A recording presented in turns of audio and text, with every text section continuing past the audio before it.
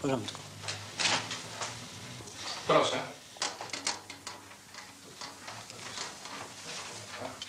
Mogę? Żołnierz na sobie ma w czasie wojny, w razie śmierci łamie się połowę, a połowa zostaje przy... No tak, przy martwym żołnierzu. Adasiu, gotowy jesteś? Możemy grać teofy? Gotów, proszę bardzo. To panie majorze, jeszcze raz y, początek sam zaczynamy. Konie były zawsze moją wielką miłością. Proszę bardzo. Proszę. Konie były zawsze moją wielką miłością. Mogę bez przesady powiedzieć, że przeniosły mnie przez całe życie bardzo ciekawe na swoim grzbiecie.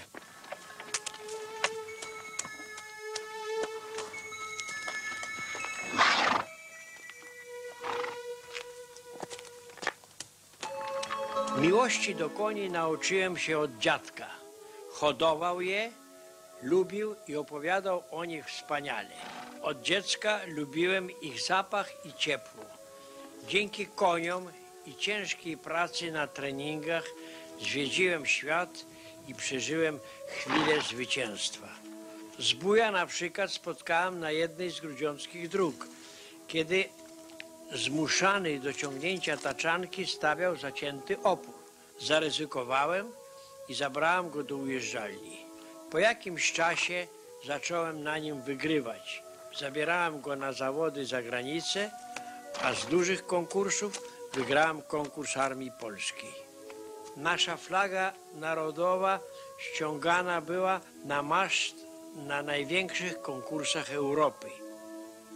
Wspólnikami moimi tych sukcesów były Zbój, Wizja, Zbieg, Duncan, Owoc i Bimbus.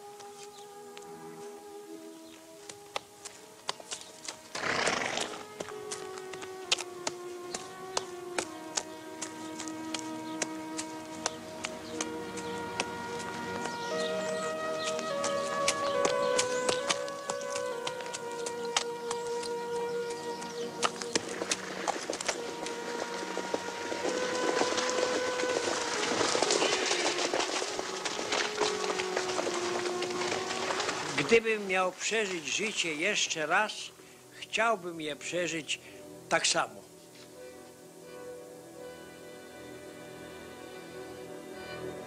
Matka i ojciec bardzo kochali książki. W domu mieliśmy piękną bibliotekę. Wieczorami słuchaliśmy ulubionych fragmentów Sienkiewicza, Mickiewicza czy Kraszewskiego. Wyczarowane przez nich obrazy nieraz potem dorosłym już życiu dodawały nam ducha w trudnych chwilach. Nasz dwór, Wiśniak, stoi może jeszcze dzisiaj na dalekich kresach Białej Rusi. Urodziłem się w nim w najbardziej burzliwym miesiącu 1905 roku. Wychowałem się jednak w ciszy i spokoju kochającej się rodziny. Matka moja była wspaniałą kobietą, dzielną kobietą kresu. Świetnie jeździła konna i była zawsze dla mnie i dla mojego brata wzorem niedoścignionym.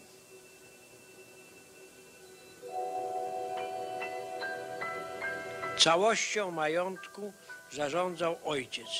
Bardzo dbał rozwój gospodarki, stosując jako pierwszy na ziemi witebskiej najnowsze maszyny. Spokojne życie Wiśniaku skończyło się w 917 roku. Wygnani na tułaczkę zdążaliśmy do Warszawy. Ojciec w drodze zmarł. Matka, ciężko pracując, utrzymywała i kształciła troje dzieci.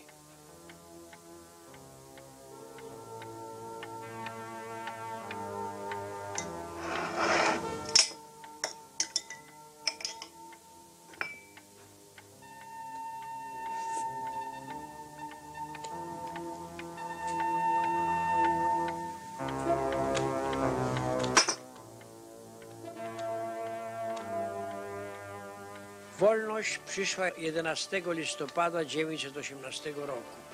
Na ulicę wyjechały pierwsze polskie patrole konne. Na Koszykowej Niemców rozbrajali łani krachowieccy. Tam właśnie podziwiałem amarantowe barwy. Ach, jak ja im zazdrościłem koni, mundurów i szabli.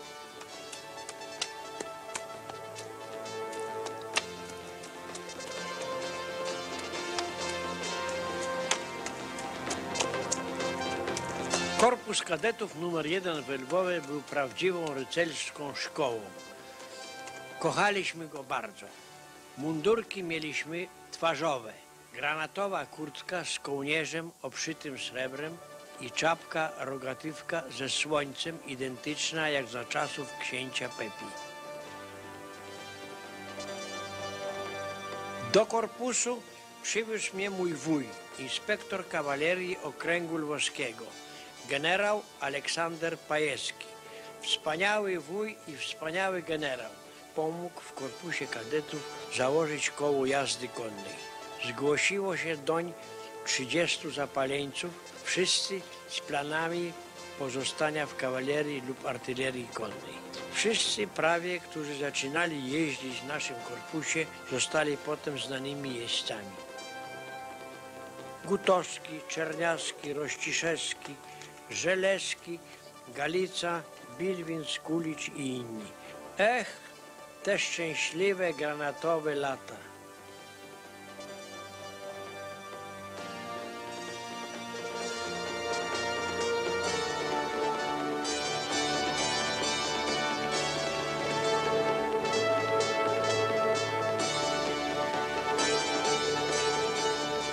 W maju 1926 roku, po ukończeniu korpusu kadetów, rozpocząłem naukę w dwuletniej zawodowej szkole podchorążych w obozie szkolnym kawalerii w Grudziądzu. To była wielka szkoła, centrum broni konnej. Czas płynął szybko. Nauka, jazda konna, no i życie towarzyskie. Marzenia mieliśmy wszyscy te same. Dostać się do wybranego pułku kawalerii. W 1928 roku otrzymałem amarantowe barwy pierwszego pułku łanów krechowieckich. Augustów, smutne i prowincjonalne miasteczko, było siedzibą mojego pułku.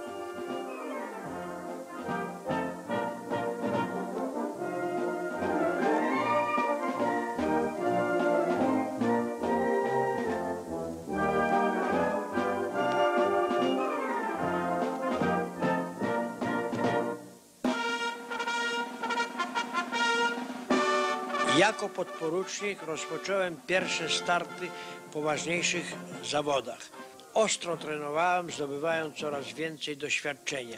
Moim ówczesnym wzorem i absolutnym autorytetem był świetny jeździec Karol Rumel.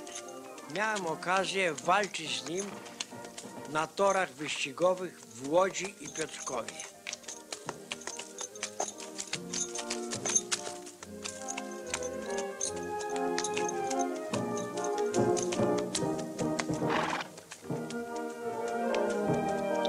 Rotmistrz Kulesza, porucznik Gutowski, major Królikiewicz, rotmistrz Kawecki, rotmistrz Rojcewicz i porucznik Komorowski. To skład naszej ekipy olimpijskiej. Berlin 936. Olimpiada była bardzo trudna. Przeszkody skomplikowane, a parkour ustawiony pod kątem koni gospodarzy o wielkiej potędze skoku. Byliśmy wybrani spośród wielu. Pracowałem na to ciężko, wygrywając w kraju oraz Puchar Narodu w Rydze, w Talinie, w SPA, wicemistrzostwo Polski WKKW oraz konkurs tak zwany amerykański w Sopocie. Nasza ekipa WKKW przywiozła z olimpiady srebro. My, skoczkowie, wróciliśmy niestety bez medalu i punktowanych miejsc.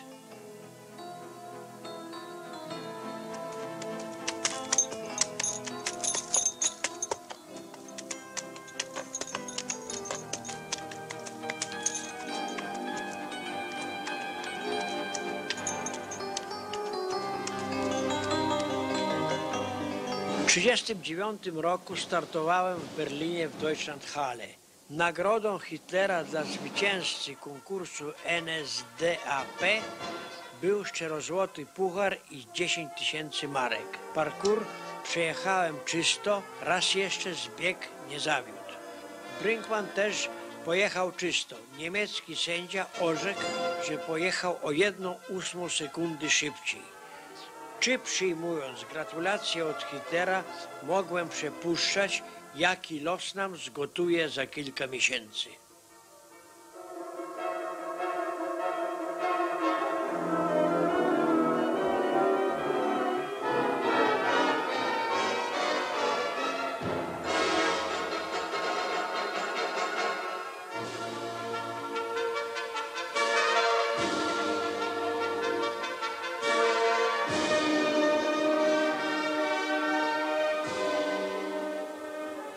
Trzydziesty dziewiąty rok to nie była dżentelmeńska wojna ułanów.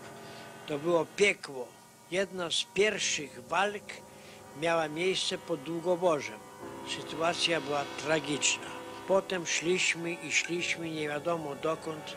Nikt już nie liczył, ile my i nasze konie mają w nogach. Była to droga przez ogień. Wszystko się paliło. Szliśmy przez płonące szumowo i tam nagle na drodze pojawił się starzec. Wyglądał jak powstaniec z 63 roku i krzyżem błogosławił. Padła komenda na prawo patrz, a nam się zdawało, że to sam Chrystus przed nami stanął. Budowaliśmy mosty, grzęźliśmy w bagnach, ginęliśmy od kul, traciliśmy konie. Gubiliśmy się, odnajdywali, szli do walki, a potem kluczyli między dwoma wrogami.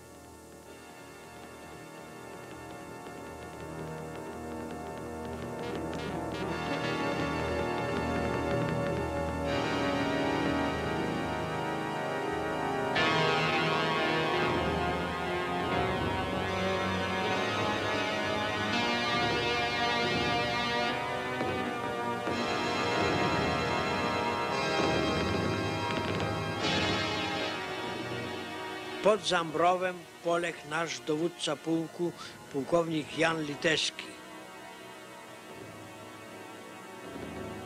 Pochowaliśmy go za wsią pod Polną Gruszą.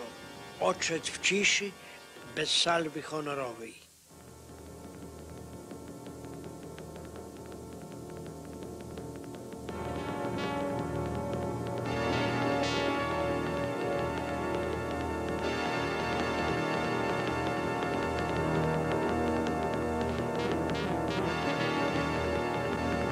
Kiedy padła Warszawa, szliśmy z armią generała Kleberga. Pod Kockiem stoczyliśmy ostatni bój i usłyszeliśmy ostatni rozkaz. Zakazuję walki. Przejeżdżając koło kościoła Woli Głowskiej, zdjęliśmy hełmy. Bóg z nami, pomyślałem. W Adamowie puściliśmy nasze konie na łąkę oświetloną niemieckimi samochodami. Rzuciliśmy na stos szable, karabiny, z siodeł powstała martwa, nikomu niepotrzebna góra. I tylko tak okropnie było żal naszych koni. Drodzy towarzysze broni, ze wszystkich pułków kawalerii polskiej, szwoleżerów, ułanów, strzelców konnych, artylerzystów konnych, w ubiegłym roku obchodziliśmy 70-lecie odzyskania niepodległości naszej ojczyzny. W tym roku będziemy wspominać, będziemy mówić o tym, co się stało przed 50 lat. Ale dziś chciałbym wspomnieć jeden z pułków naszej bohaterskiej kawalerii, pierwszy pułk ułanów krechowieckich. W ubiegłym roku obchodziliśmy 71. rocznicę bitwy pod Krechowcami. Bitwy, która przeszła do historii naszej kawalerii jako jedna z najbardziej ambitnych i brawurowych akcji polskiego ułana.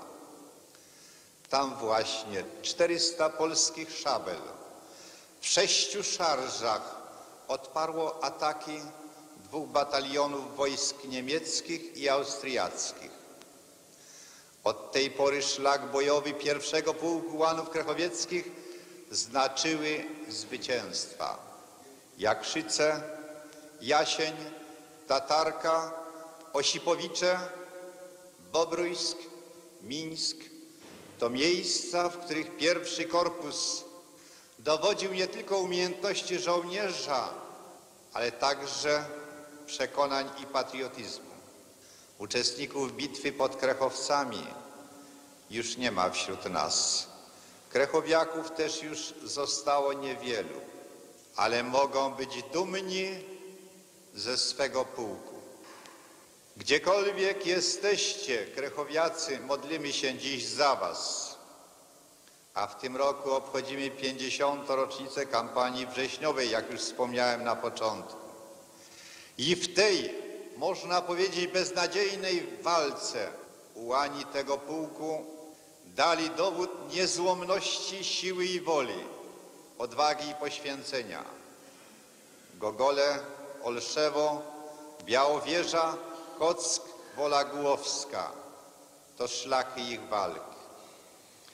Walczyliście dzielnie, niosąc ze sobą przesłanie Bóg, honor, ojczyzna.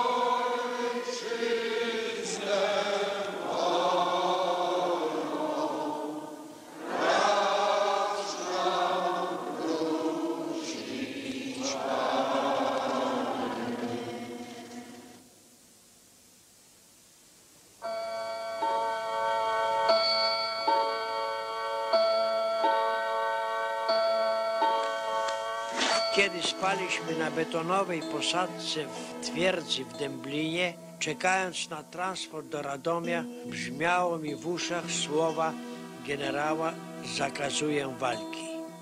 Ta bezsilność była najgorsza. Nad bramą obozu w Murnau przywitały nas figury dwóch rycerzy z lancami. Za drutami usłyszeliśmy znajome głosy kolegów, którzy przyjechali wcześniej.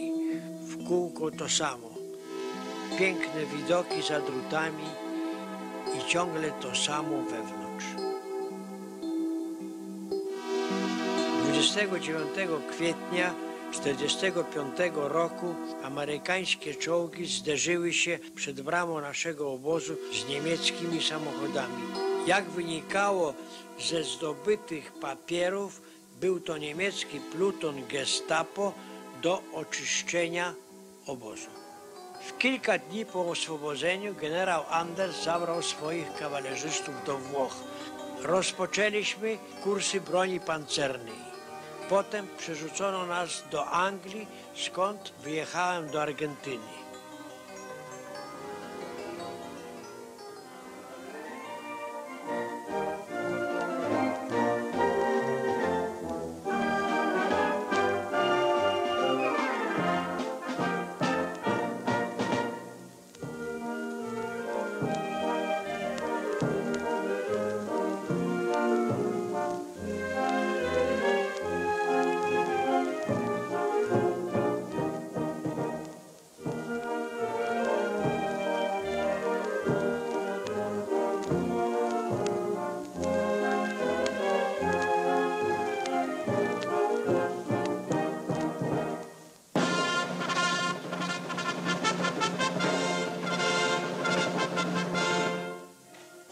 Często biorę do ręki przywiezione z Buenos Aires przedmioty.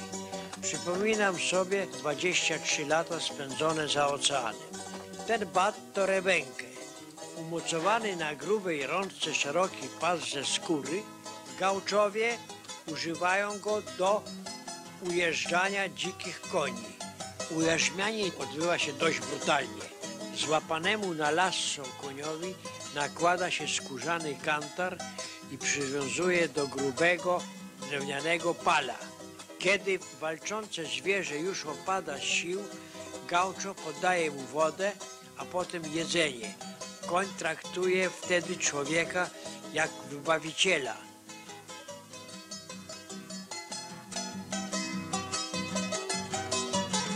W szkoleniu moich uczniów w klubie Ipico Argentino stosowałem credo złotoustego Antoniewicza, mego najlepszego instruktora. Nie szukaj taniego sukcesu.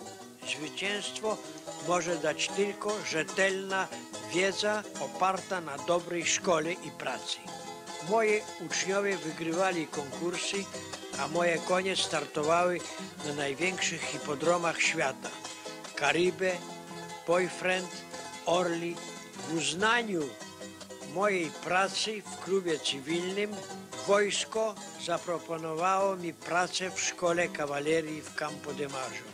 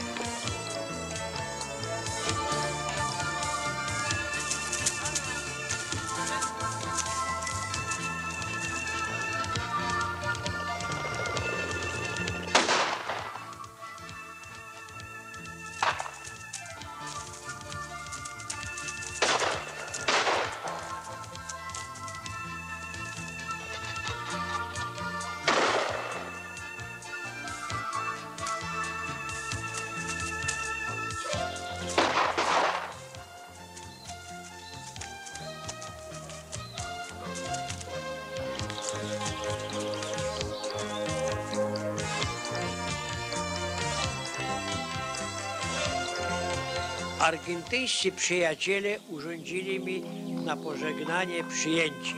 Otrzymałem wielką oznakę jeździecką San Jorge nadaną dekretem państwowym, dyplom z podziękowaniem od wojska argentyńskiego z podpisem prezydenta oraz depesze od wszystkich pułków kawalerii.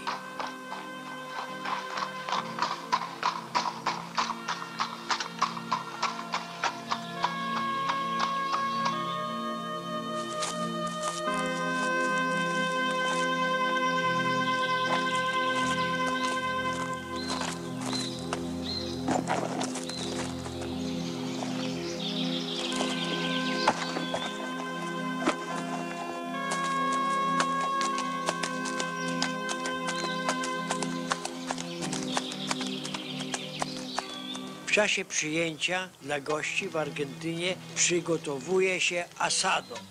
Specjalnie wynajęty mistrz przyrządza mięso w sobie tylko w sposób znany. Piecze je długo nad żarem ogniska, polewa troskliwie sosem chimichury i odczynia różne czary, które sprawiają, że mięsiwo jest przepyszne. Wspominam często lata spędzone w tropiku Buenos, ale mniej tęsknię za nimi niż tęskniłem za jeziorem w Augustowie, koszarami w Grudziądzu czy konkursami w Łazienkach.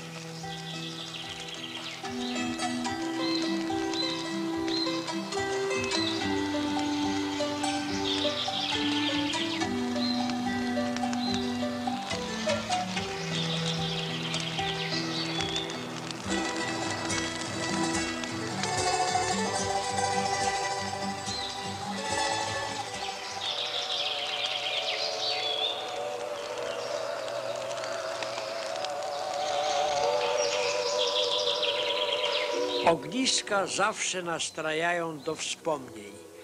Ogień wywołuje obrazy wojennej pożoni. Przesuwają się przed oczyma miejsca walk wrześniowych i ich dramatyczni bohaterowie, łani i konie.